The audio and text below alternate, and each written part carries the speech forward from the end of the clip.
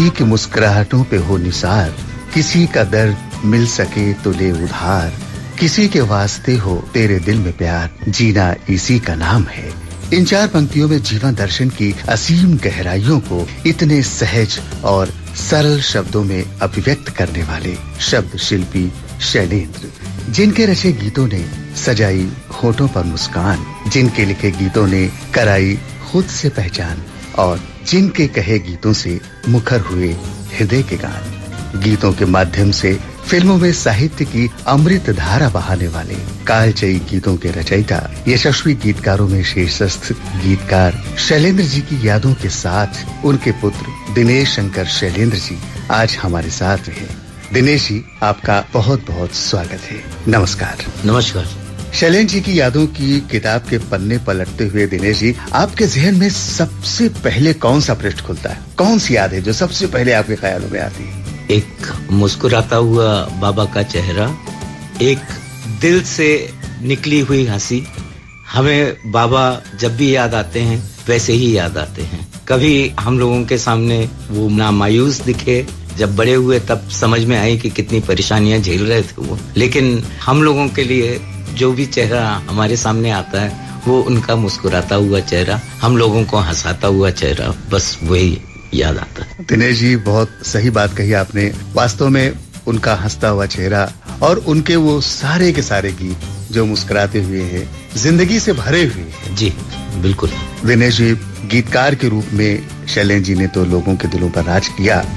एक पिता के रूप में आप कैसे देखते एक पिता के रूप में एक्चुअली हम आपको बताएँ कि पहली बार हमें पता चला कि बाबा एक बहुत बड़े आदमी हैं जिस दिन वो गुजरे उस दिन पता चला कि वो बहुत बड़े आदमी तो तब तो आप बहुत छोटे रहे हम बहुत छोटे थे हम दस साल के थे और जब पूरे फ़िल्म इंडस्ट्री के बड़े बड़े लोग हमारे घर में इकट्ठा हुए हम्म। और घर के बाहर इतने लोगों की भीड़ जमा हुई उनको देखने के लिए हम्म।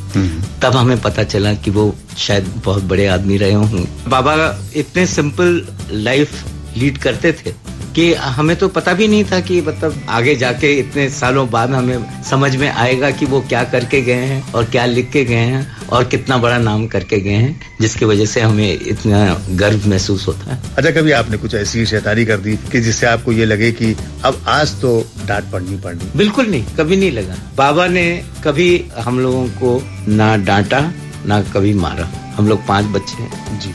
हमारी मदर तो मारती रहती थी तो शाम को जब बाबा घर आते थे तो एक लाइन सी लगी रहती थी पाँचों बच्चों की हम सब अपनी अपनी कंप्लेंट करते थे हम्म। बाबा को कि मम्मी ने आज हमको हैंगर से मारा मम्मी ने आज इससे मारा उससे मारा मम्मी ने ये बोला डांटा हमको तो बाबा मम्मी को हम लोगों के सामने डांट देते थे हम्म। और ऐसा कभी नहीं हुआ कि उनको हम लोगों के लिए वक्त नहीं था या हम लोग को चुप करा दे कि अभी चुप करो बाबा सोच रहे हैं या लिख रहे हैं। और उनका बहुत ही अच्छा सेंस ऑफ़ ह्यूमर था। हमको हंसाते रहते थे। और दो चीज़ों के लिए हम लोगों को कभी मनाई नहीं थी। एक म्यूज़िक और दूसरी किताबें। और उनका सबसे बुरा पनिशमेंट अगर वो देते थे वो हम लोगों से बात करना बंद कर बात करना बंद कर देते मम्मी की मार भी उतनी बुरी नहीं लगती थी जितना वो लग और हम लोगों को हमेशा याद दिलाते रहते थे कि वो किस गरीबी से उठ के आए थे। और अपने गानों में भी ये लाए हैं कि बहुत दिया बहुत देने वाले हैं तुझको। आंचल ही न समाये तो क्या की जाए। दिनेश जी आपका साथ बहुत कम रहा। आप बहुत छोटे थे जब वो आपको छोड़कर चले गए। हम सभी को छोड़कर चले गए। लेकिन बहुत सारे किस्से बहुत सारी बातें बहुत सारी यादें हैं जो आपके साथ बनी हुई हैं। जी। और बहुत सी बातें सुनी होंगी आपने कि किस तरह से वो मुंबई आए मुंबई में आकर के किस तरह उन्होंने संघर्ष किया कैसे उन्होंने अपनी जगह बनाई और किस तरह वो फिल्मी जगत के आसमान पर छा गए। जी। बाबा का जन्म तो रावलपिंडी में हुआ था और फिर हमारे ताऊ जी की नौकरी थी हम्म। मथुरा में। तो पार्टीशन के पहले पूरा परिवार मथुरा आके बस गया। हम्म। बाबा का बचपन बहुत ही ज़्यादा गरीबी में गुजरा। उनको पढ़ने के लिए मथुरा में टॉपर रहे हमेशा। लेकिन जिस स्कूल में जाते थे हम्म। वहाँ के हेडमास्टर ने उनको लिटरली अडॉप्ट किया था। हम्म। फ़ीस वो देते थे बाबा को हेल्प करते थे। फ़ीस तक के पैसे नहीं रहते थे। और इंटर तक पढ़े वो। और इंटर में भी वो ऑल यूपी में वो शायद थर्ड रैंक उनका अच्छा आया। अच्छा अच्छा। लेकिन कुछ मजबूरियाँ इतनी ज़्यादा हो गई कि उन्हें एक छोटी सी नौकरी एज एन रेलवे अप्रेंटिस वो माटुंगा वर्कशॉप मुंबई में आके उस वक्त बॉम्बे था। तो बॉम्बे में आके वो पाटुंगा वर्कशॉप में एक बहुत छोटी सी नौकरी करने लगे। और साइड बाय साइड उनको कविता का इतना शौक था। ये ओपेरा हाउस के सामने एक ऑडिटोरियम सा था जहाँ प्रोग्रेसिव राइटर्स ग्रुप कहते थे जिसको जहाँ जो एमेचर कवि और कुछ प्रोफेशनल्स भी अपना लेटेस्ट कलाम वहाँ रिसाइट करते थे। ऐसे ही एक जलसे में बाबा गए थे। और उन्होंने अपनी एक कविता जलता है पंजाब सुनाया। अच्छा। जैसे ही कविता खत्म हुई ऑडियंस में से एक बहुत ही हैंडसम नौजवान आए और बाबा को क्योंकि उनकी खुद की कोई पहचान नहीं थी उन्होंने अपने आप को इंट्रोड्यूस किया कि मैं पृथ्वीराज कपूर का बेटा हूँ राज कपूर। और मैं पहली फ़िल्म आग बनाने जा रहा हूँ। उन्नीस सौ सैतालीस सैतालीस की बात यस और आपने जो अभी कविता सुनाई वो पार्टीशन के बारे में मेरी फ़िल्म भी पार्टीशन के बारे में और आपने जलता है पंजाब जिस तरह सुनाई ये कविता भी हमारे फ़िल्म में शूट करती है और बाकी गाने भी आप लिखिए।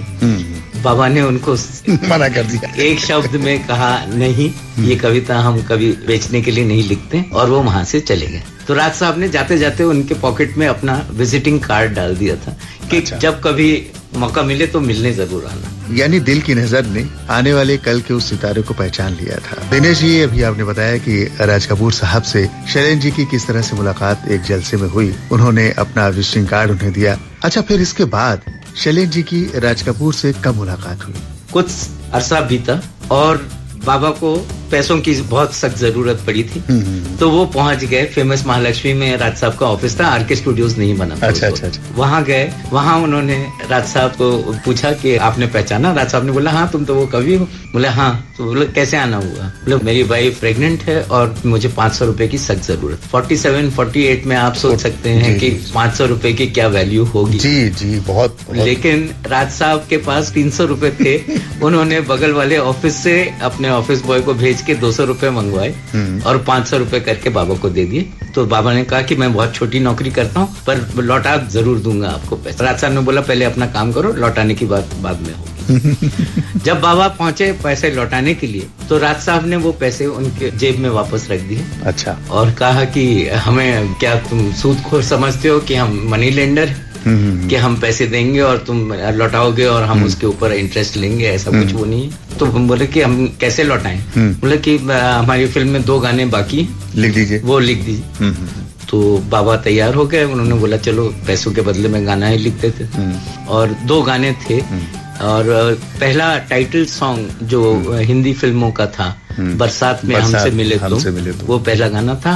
और दूसरा गाना था पतली कमर है तिरछी नज़र। हम्म, हम्म, बरसात में नौ में से दो गाने बाबा के थे। हम्म। अगली फ़िल्म जो राज साहब ने बनाई थी वो आवारा बाबा ने अपनी नौकरी बरसात के सुपर हिट होने के बावजूद और उनके गाने दोनों बहुत ही हिट हुए थे। जी जी। उसके बावजूद अपनी नौकरी नहीं छोड़ी थी। अच्छा। और राज साहब जब भी बोलते थे कि आगे लिखो बाबा साफ़ मना कर देते थे कि हमें फ़िल्मों में आना ही नहीं है हमें ये फ़िल्म इंडस्ट्री पसंद नहीं बोले हमने कर्जा तो उतार दिया अब हम आगे नहीं आगे लिखेंगे। तो एक दिन ऐसे ही बाबा गए थे राज साहब से मिलने तो राज साहब ने बोला चलो हमारे साथ एक कहानी सुनाते हैं तुमको। राज साहब बाबा को गाड़ी में बैठा के के अब्बास साहब के घर ले गए। अच्छा। के अब्बास साहब से बाबा को मिलाया राज साहब ने।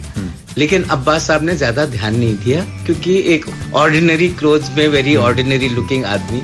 तो वो राज साहब से बात कर रहे थे। राज साहब ने बोला ठीक है अब्बास साहब शुरू हो जाइए। हम्म, वहाँ अब्बास साहब ने आवारा की पूरी कहानी डिटेल्ड जी। स्क्रिप्ट सुना वो सुनाई जो। दो ढाई घंटे नरेशन पूरा चला। हम्म, हम्म, और जैसे ही खत्म हुआ तो राज साहब बाबा की तरफ़ मुड़े हम्म। और उनसे पूछा कि कविराज कुछ समझ में आई कहानी? हम्म। बोले कहानी बहुत अच्छी है। हम्म। नहीं बहुत अच्छी है तो ठीक है। वो तो मुझे भी अच्छी लगी। हम्म। पर क्या समझ में क्या आया?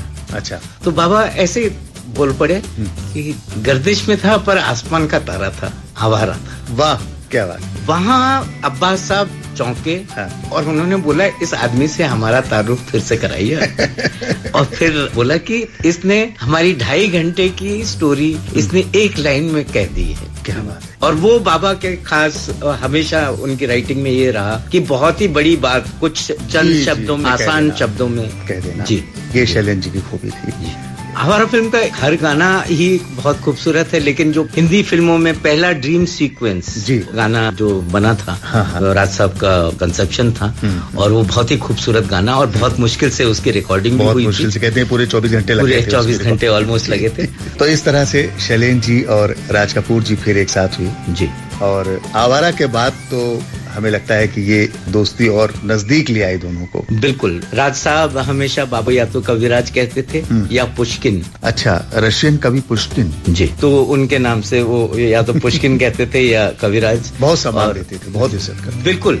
मतलब कई बार ऐसा हमने खुद अपनी आँखों से देखा है कि बाबा सोफे पे बैठे हैं हम्म। और राज साहब ज़मीन पे उनके पैरों के पास बैठे। बहुत इज़्ज़त भी करते थे और बहुत चाहते भी थे बाबा को।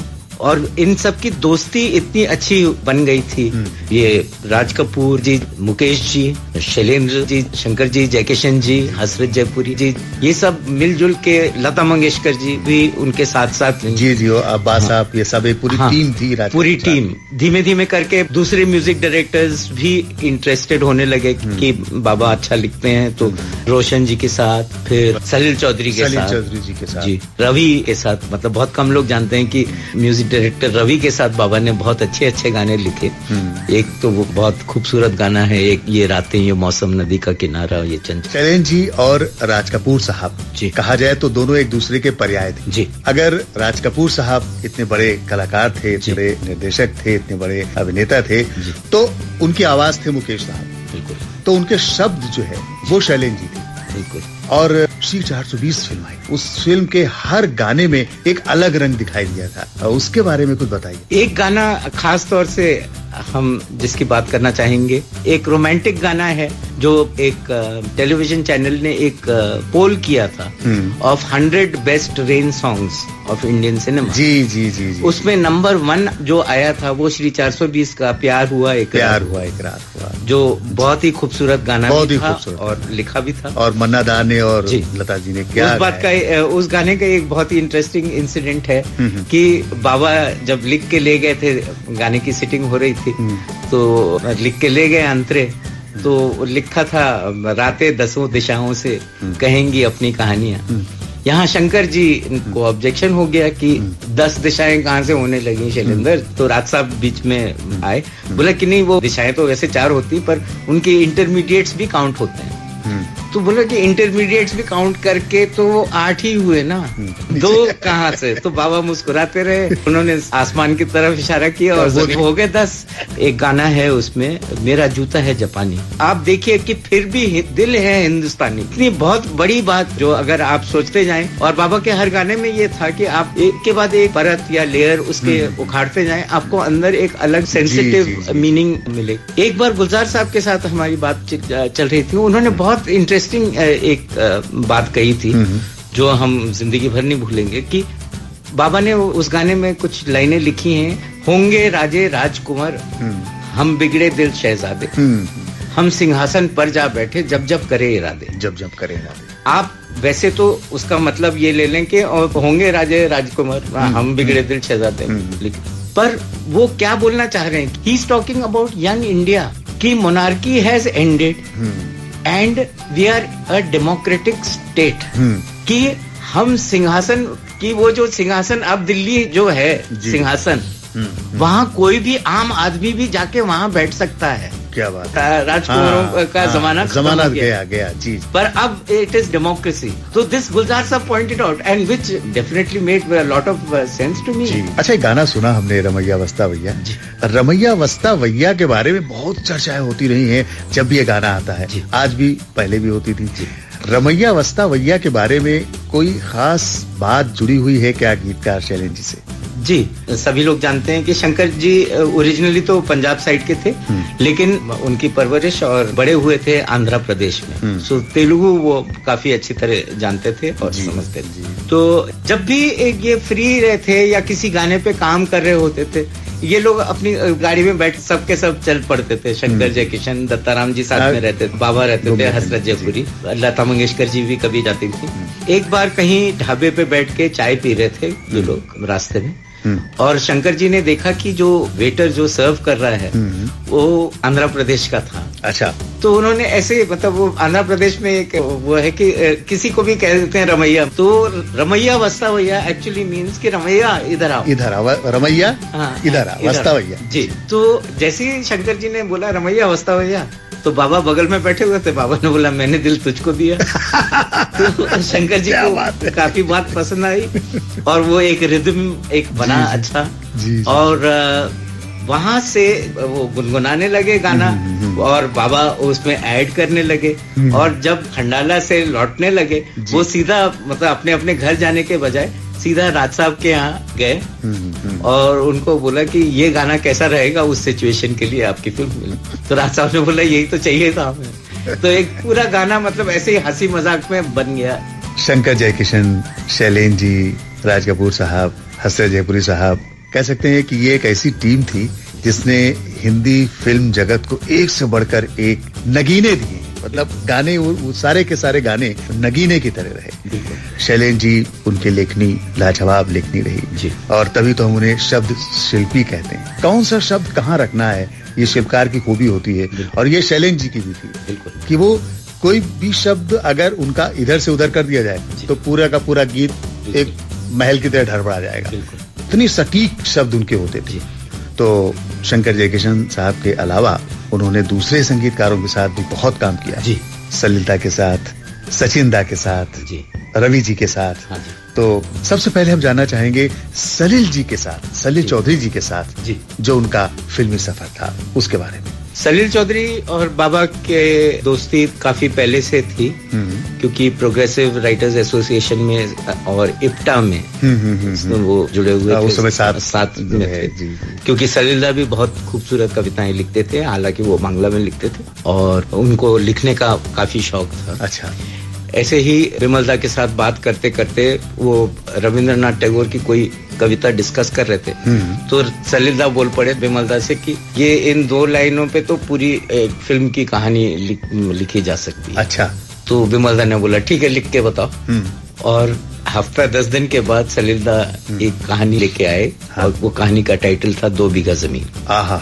और कहानी सलीलदा की थी। हम्म। और सलीलदा से पूछा गया जब विमल राय ने पूछा कि राइटर किसको लें तो हम्म। सलीलदा ने बोला हम तो शैलेंद्र के साथ ही काम करेंगे। और बाबा ने सब गाने लिखे और वो सारे ही गाने फ़िल्म के बहुत ही खूबसूरत थे। तो सलीलदा के साथ तो पहली फ़िल्म दो बीघा ज़मीन थी। दो बीघा ज़मीन मधुमती। हम्म। इसके अलावा और भी कई फ़िल्में थी विमलदा की और सलील चौधरी जी के साथ। जी। शैलेन जी की जोड़ी। जी। बहुत अच्छे अच्छे गाने दिए। एक परख फ़िल्म आई थी। परख फ़िल्म बहुत ही आप विश्वास नहीं करेंगे कि ओरिजिनली परख वॉज़ प्लान कि बिमल रॉय ने एक प्लान बनाया था कि एक फ़िल्म बिना गानों के बनाए। अच्छा। तो उसमें उनसे जब पूछा गया कि आपके हम्म। संगीत और पोइट्री हम्म। कहाँ से आएगी हम्म। तो उन्होंने सलीलदा और शैलेंद्र जी दोनों को ये कहा कि जो हमारा म्यूज़िक डायरेक्टर है हम्म। वो स्क्रीन प्ले लिखेगा हम्म। और जो हमारा लिरिक्स राइटर है हाँ। वो डायलॉग लिखेगा अच्छा तो वो एक ही फ़िल्म है जिसके डायलॉग हम्म। पूरे बाबा ने लिखे जी, जी लेकिन जब फ़िल्म आधी से ज़्यादा बन गई तो दोनों शैलेंद्र जी और सलीलदा ये बात बाशु भट्टाचार्य ने बताई. तो उन्होंने कहा कि इन लोगों ने अपना चक्कर चलाया और विमलता को कन्विंस किया कि आप बिना गानों के फ़िल्म नहीं बना सकते। परख में गाने होने बहुत ज़रूरी है। And thank god Vimal Roy ने अग्री किया। नहीं तो आप सोचिए कि ओ सजना बरखा बाहर आई क्या गाने या मिला है किसी का झुमका बेमिसाल गाने थे। बिल्कुल। तो एक से एक गाने एक से बढ़कर क्या हवा चली रे बाबा हाँ, हाँ, रुत हाँ। बदली। तो फ़िल्म बननी थी बिना गानों की। वो फाइनली उसमें इतने खूबसूरत गाने आए। ओ सजना बरखा बाहर ओ सजना बरखा बाहर आई ये लता मंगेशकर का फेवरेट गाना है क्योंकि उन्होंने एक बार लता मंगेशकर जी से हमारी बात हो रही थी तो उन्होंने कहा बताया था हम्म। कि ये ओरिजिनली सलीलदा ने बांग्ला गाना बनाया था लेकिन जब बाबा को दिया गया हम्म। हिंदी में लिखने के लिए हम्म। तो उन्होंने ऐसा लिखा कि उसका एक जो बांग्ला वर्जन था उसका एक नोट भी चेंज करने की ज़रूरत नहीं पड़ी अच्छा। और इतना खूबसूरत गाना बना वो। शैलेन जी की लेखनी का तो कोई जवाब नहीं। सचमुच कमाल का लेखन था उनका। और किसी भी म्यूज़िक डायरेक्टर के साथ उन्होंने काम किया और सभी को संतुष्ट भी किया उन्होंने और म्यूज़िक डायरेक्टर को ही नहीं बल्कि प्रोड्यूसर को और यहाँ तक कि जो फ़िल्म देखने वाले दर्शक विश्रोता उन सभी को संतुष्ट किया शैलेन जी ने। और सचिन दा जी। सचिन देव बर्मन साहब उनके साथ भी उनकी बड़ी अच्छी जोड़ी जमी। कई फ़िल्में बेहतरीन फ़िल्में जैसे कि काला बाज़ार गाइड जैसी फ़िल्में इन दोनों ने दी। और सचिन दा के साथ जो काम किया उन्होंने उसके बारे में बहुत सी बातें बातों बातों में पता चली थी कि आपको बहुत सारे किस्से हैं उनसे जुड़े हुए। तो कुछ बताइए। सचिन देव बर्मन के गुस्से का सभी को पता है कि कितना गुस्से वाले आदमी हुआ करते थे। हम्म। अपने काम में बिल्कुल डिस्टरबेंस बिल्कुल ऑब्स्ट्रक्शन किसी तरह का पसंद नहीं था हम्म। लेकिन बाबा को बहुत ज़्यादा वो पसंद भी करते थे हम्म। और बाबा की इज़्ज़त भी करते थे काला बाज़ार के बारे में एक बहुत इंटरेस्टिंग स्टोरी है जो पंचम दा ने एक रेडियो प्रोग्राम में सुनाई थी हम्म। तो वहाँ से हमें पता चली कि एक गाना था जो बाबा लिख नहीं पा रहे थे अच्छा हाँ एस डी बना ली थी हाँ, हाँ. और म्यूज़िक स्टूडियो भी बुक कर लिया गया। हाँ, हाँ, हाँ. लेकिन बाबा वो गाना तैयार नहीं हो पा रहा था। तो वो कुछ हो नहीं रहा था। तो एस डी बर्मन के से मिलने गए थे बाबा। हम्म, हम्म। तो उन्होंने बोला दो तीन दिन लगेंगे। तो बोला नहीं नहीं नहीं अभी दो तीन दिन की बात नहीं है। हम्म। तुम एक काम करो प्रेम बेटे को बुलाया पंजाब तुम ये शैलेंद्र के साथ जाओ। और जब तक गाना ये देगा नहीं तब तक वापस आना नहीं। तो बाबा ने पंचमदा को गाड़ी में बैठाया। और बोले कि चलो अब हम्म। जब तक गाना देंगे नहीं तब तक तुम वो घर नहीं जा सकते अब हम्म। क्या करें? तो पहले तो गए वो शंकर जयकिशन के म्यूज़िक रूम में। हम्म। उनके साथ कुछ काम था। तो जयकिशन जी ने जैसे ही पंचम जी को देखा तो उनको बोलो पूछा कि क्या ट्यून चुराने आए हो क्या? तो बोले नहीं ऐसा ऐसा हुआ है। बोले अरे तब हम लोगों का गाना पहले कंप्लीट होगा पहले हम लोगों का काम करने तो फिर तुम्हारा काम करेंगे। अच्छा। तो उधर उनके साथ जो भी सिटिंग हुई बाबा की वो हो गई हम्म। फिर पंचमदा को उनके उन्होंने गाड़ी में बैठाया हम्म। वो ले गए नेशनल पार्क आरएमएल कॉलोनी अच्छा। सब तरफ़ घूमे कुछ बात नहीं बन रही थी हम्म। फिर फाइनली पंचमदा ने जो बताया है कि रात हो गई और रात के वक्त वो जूहू बीच पर पहुँचे अच्छा और जूह बीच पे बाबा ने सिगरेट लगाई अपने मुँह से और फिर देखा कि माचिस नहीं तो उन्होंने पंचमदा से बोला कि पंचम जरा माचिस देना हम्म, हम्म। तो पंचमदा एक तो घबरा गया कि इनको पता है कि मैं सिगरेट पीता हूँ अगर इन्होंने मेरे अच्छा, अच्छा। फादर को बता दिया तो मेरा बहुत बुरा हाल होगा तो खैर पंचमदा ने माचिस दी हम्म। बाबा ने सिगरेट जलाई और बोला कि जरा ट्यून सुनाओ और पंचमदा ने उसी माचिस के डिब्बे पे हाँ। वो रिदम देख के हाँ। ट्यून सुनाई हाँ।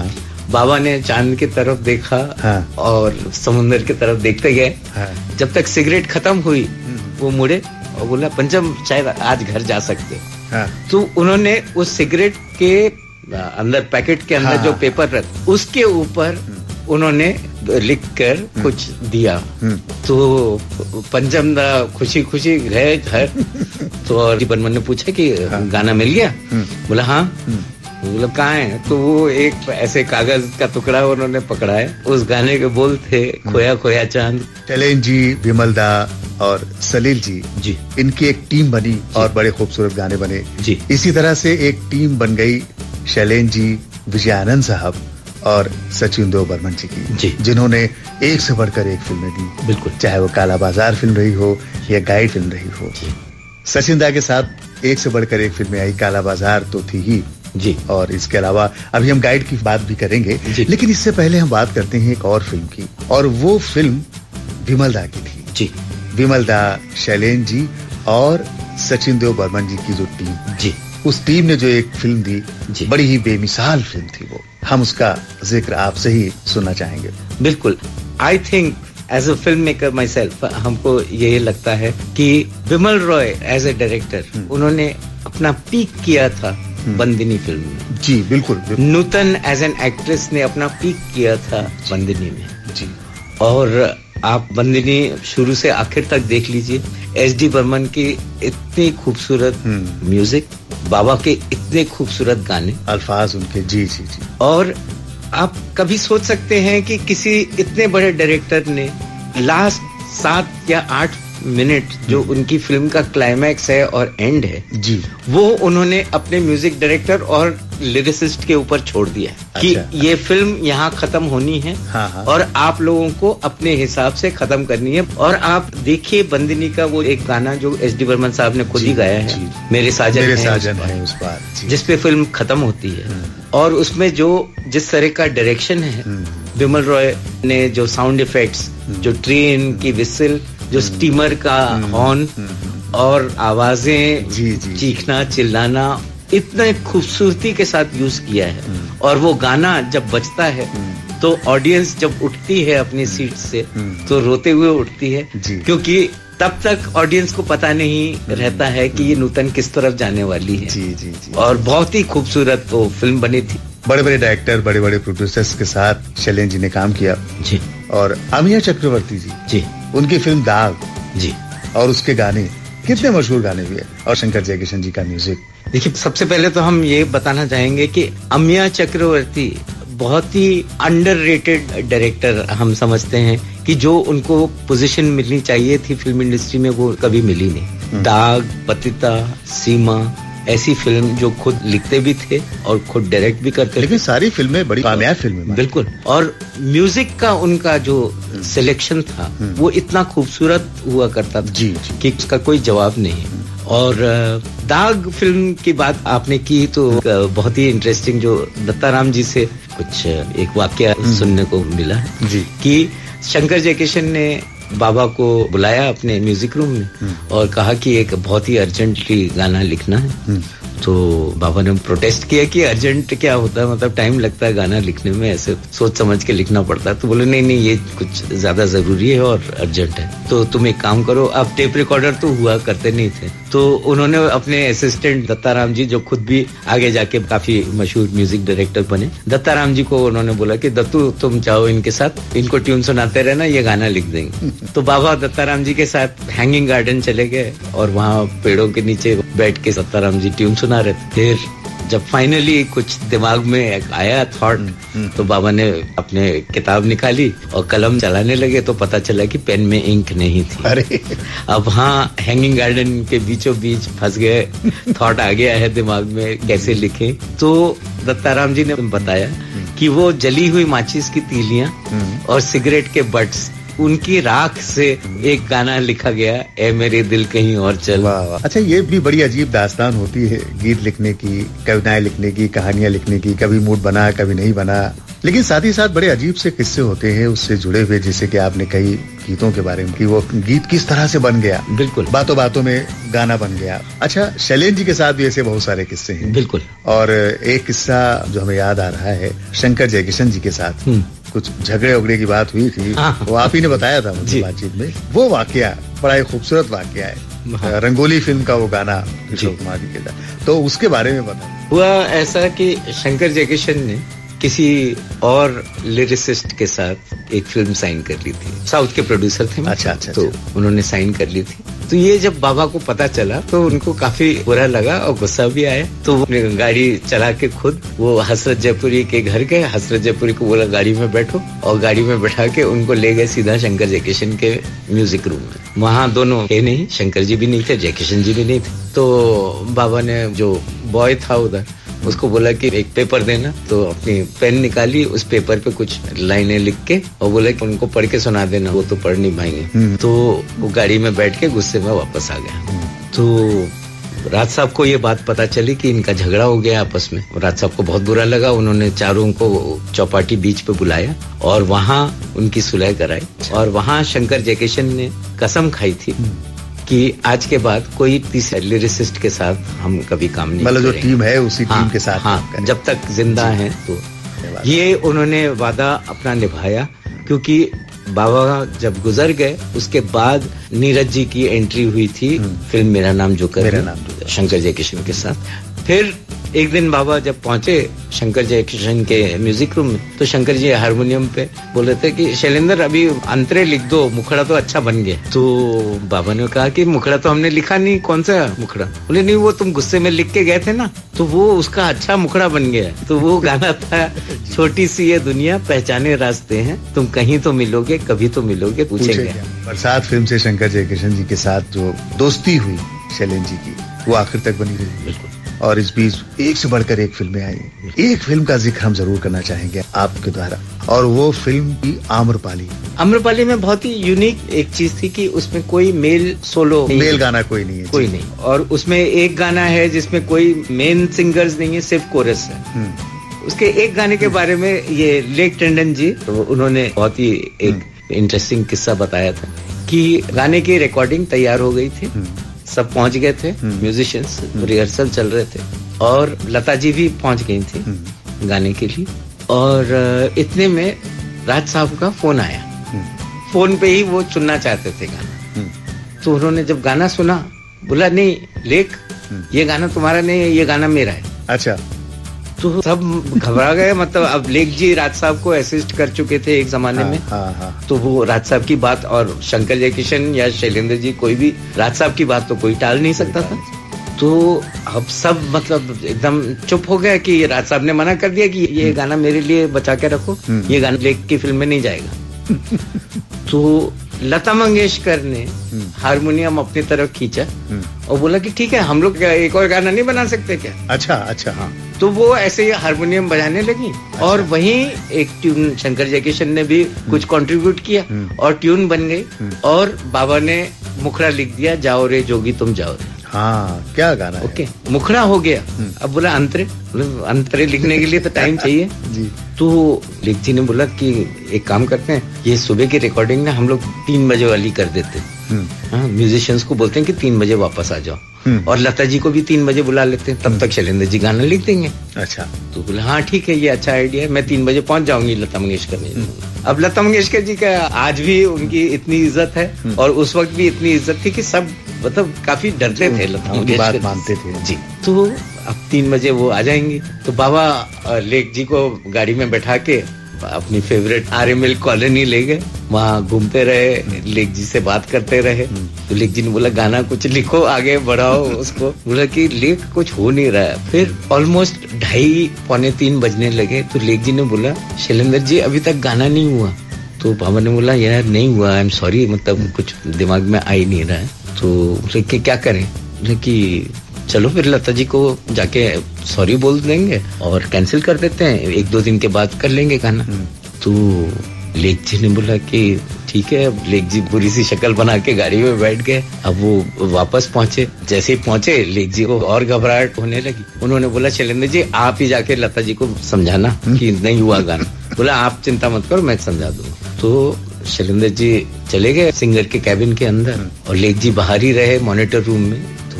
वो देखते रहे कि लता जी और शैलेंद्र जी की बहुत ही मतलब एक एनिमेटेड सी कॉन्वर्सेशन चल रही है अंदर। तो उनको समझ में नहीं आया उनको लगा कि लता जी को काफ़ी गुस्सा आ रहा है या कुछ लड़ाई झगड़ा हो रहा है। तो उन्होंने अंदर का माइक जो था वो ऑन करके सुनने की कोशिश की कि अंदर हो क्या रहा है। अच्छा, अच्छा। और जो उन्होंने पहले वर्ड सुने वो लेख जी रो पड़ते हैं बता के ये किस्सा। कि उन्होंने सबसे पहले लता जी की आवाज़ सुनी जो बोल रही शैलेंद्र जी चार पाँच तो अंतरे हो गए और कितने लिखेंगे आप? बाबा ने उधर लता मंगेशकर के सामने खड़े होके पता नहीं कहाँ से एक के बाद एक अंतरे सुनाने शुरू कर दिए थे। गाइड फ़िल्म ये देवानंद साहब के लिए एक अनोखी एक अलग तरह की रचना थी उनकी जो उन्होंने अंग्रेज़ी फ़िल्म से प्रभावित होकर बनाई थी हिंदी में और विजय आनंद साहब उन्होंने उस फ़िल्म का निर्देशन किया था। सचिन देव बर्मन साहब का बेमिसाल संगीत और उसमें बेमिसाल गीत शैलेन जी के। तो अब हम आपसे गाइड फ़िल्मों के जो गीत बने उसके बारे में जानना चाहते सबसे इंटरेस्टिंग बात तो ये है कि बाबा गाइड के लिए पहली चॉइस नहीं थे। हम्म। किसी और गीतकार ने दो गाने ऑलरेडी लिख दिए थे हाँ। और वो दो गाने रिकॉर्ड हो चुके थे। लेकिन विजय आनंद और देव साहब को वो गाने वर्ड्स पसंद नहीं आए। अच्छा। और उन्होंने जाके एस डी बर्मन को बोला कि चेंज करना है किसी और से लिखवाएँ। तो एस डी बर्मन ने बोला कि मुझे तो सिर्फ़ शैलेंद्र ही समझ में आता है। तो बोला कि ठीक है बुला लीजिए उनको। तो एस डी बर्मन जी ने फ़ोन किया बाबा को और बोला कि देव और विजय गोल्डी यहाँ बैठे हुए हैं तो आ जाओ मिलना चाहते तो बाबा को शायद समझ में आ गए हो गई बात। तो पहले तो उन्होंने बोला कि, दादा, इस वक्त तो मैं कहीं जाता नहीं हूँ। बोला, नहीं नहीं अब मैं बोल रहा हूँ, तुम आओ। तो पहुँच गए बाबा।